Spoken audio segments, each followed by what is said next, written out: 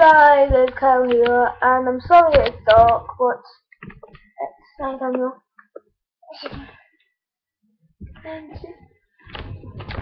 But by the time you see this, I will be on the hive. Probably when this video gets released, I'll probably be at school, which is tomorrow. So yeah guys, this will be an extremely short video, and like, comment, and subscribe.